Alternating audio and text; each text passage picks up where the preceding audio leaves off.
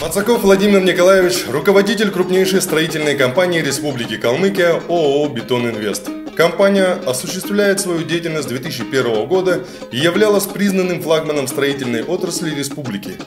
Компании построены собственные установки по производству товарного бетона.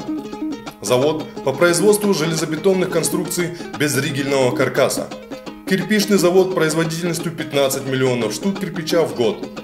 А с 2009 года компания реализует проект комплексной застройки в Голой степи 9 микрорайона города.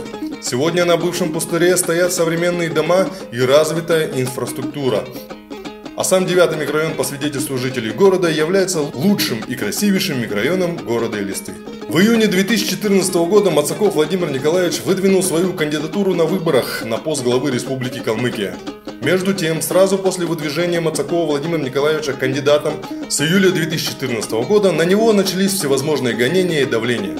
Одно за другим возбуждается, а потом закрываются уголовные дела, обыски, блокирование счетов, постоянное давление на бизнес и близких – в результате использования административного давления крупнейшая строительная компания с трудовым коллективом около тысячи человек, а для нашей маленькой республики это просто огромное количество, сегодня находится на стадии банкротства. Так, 25 июля 2014 года следователь Следственного отдела управления МВД России по городу Элисте Еминова СН возбуждает в отношении Мацакова Владимира Николаевича уголовное дело по части 4 статьи 159 Уголовного кодекса Российской Федерации «Мошенничество», то есть Хищение чужого имущества путем обмана, совершенное с использованием служебного положения в особо крупном размере. Последовали долгих полтора года непрерывной борьбы, в течение которых в отношении Мацакова Владимира Николаевича осуществлялось уголовное преследование с необоснованным применением мер процессуального принуждения. Остановить беззаконие удалось только после его обращения лично к министру внутренних дел Российской Федерации.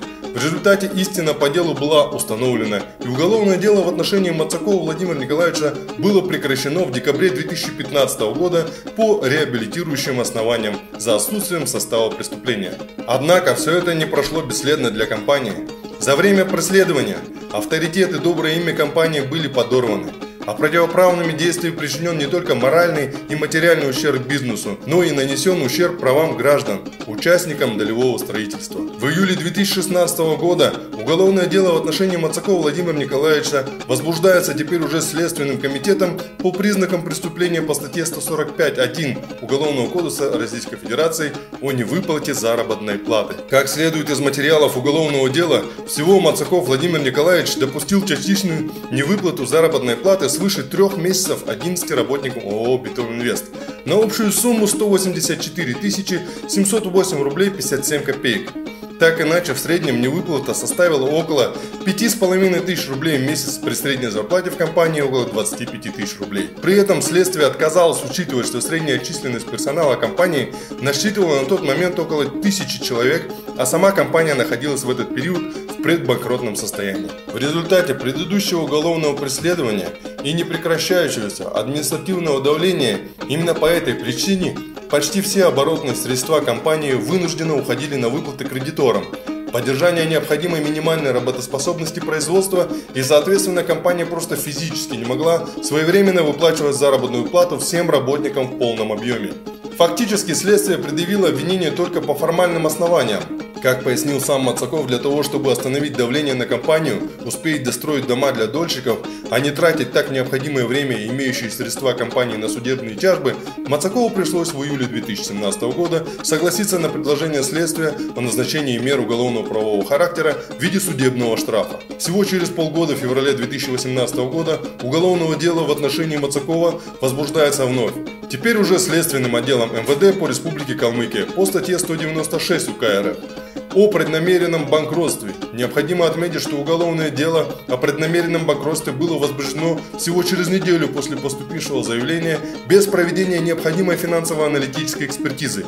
Также очень важно отметить, что дело возбуждено и без учета того факта, что долг компании перед кредиторами состоял чуть больше 100 миллионов рублей – а дебиторская задолженность правительства республики перед компанией только за возведенные компанией коммуникации на девятом микрорайоне города составляет свыше 150 миллионов рублей. Дальше больше. 11 июля 2018 года следователь Следственного отдела Управления МВД России по городу Элиста возбуждает в отношении Мацакова еще одно уголовное дело, теперь уже по части 4 статьи 159 УК РФ.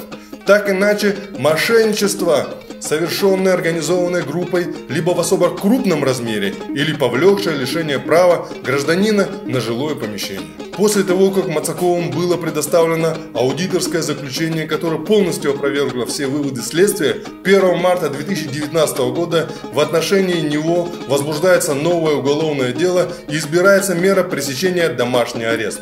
Только после апелляции домашний арест был судом отменен. В результате, сегодня после почти пяти лет постоянного уголовного преследования с применением необоснованных мер, процессуального принуждения, обыски в домах и офисах, многократные выемки документов, аресты счетов, допросы и запугивание персонала – Работа крупнейшей строительной компании республики фактически парализована, а сотни квалифицированных работников вынужденно покинули республику и уехали на поиски работы в другие регионы страны, в том числе и за границу. Несмотря на это, Мацаков Владимир Николаевич, как порядочный и ответственный человек, все-таки продолжает строительство домов для дольщиков, а все эти незаконные действия и непрерывное уголовное преследование сильно препятствуют завершению строительства и передаче дольщикам их квартир, а это 256 семей.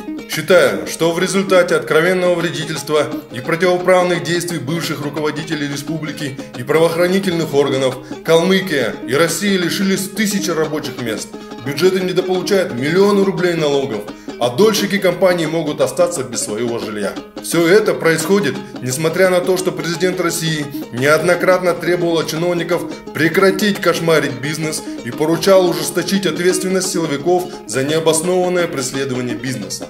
Депутат Элистинского городского собрания, президент Союза предпринимателей Республики Калмыкия Юрий Абушинов. Из письма в Рио Республики Калмыкия Хасикову Бату Сергеевичу.